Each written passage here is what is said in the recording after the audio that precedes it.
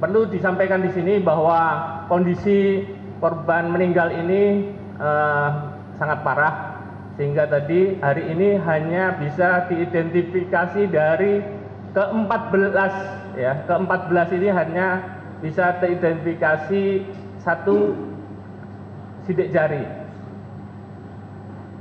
Tadi barusan ditambah satu lagi ada dua sidik jari ya kemudian untuk ke depannya ya sa- saya sangat menghimbau kepada rekan-rekan mensosialisasikan yang perlu adalah data antemortemnya kepada keluarga yang kehilangan sanak saudara keluarga dalam hal ini yang diperkirakan ya diperkirakan eh, ada di tempat kejadian mohon disebarluaskan.